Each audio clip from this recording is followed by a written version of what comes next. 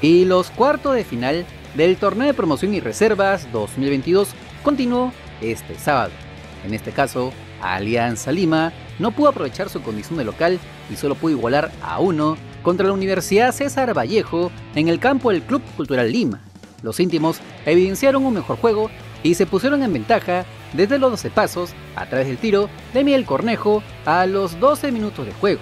Sin embargo, antes de que finalice el primer tiempo, el equipo blanqueazul se quedó con 10 jugadores por expulsión de Juan Pablo Goicochea.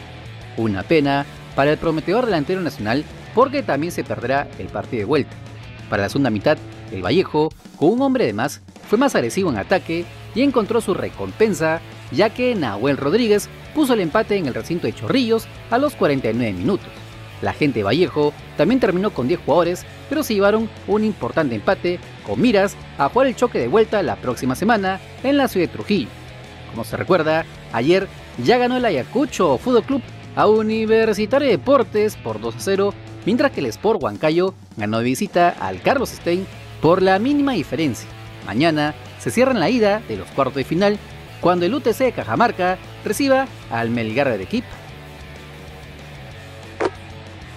No te olvides que si quieres estar enterado de las últimas noticias nacionales, solo suscríbete al canal porque somos el canal del fútbol peruano. Si te gustó el video, like, comparte, suscríbete con la campanita. Nos vemos en el siguiente video. ¡Chao!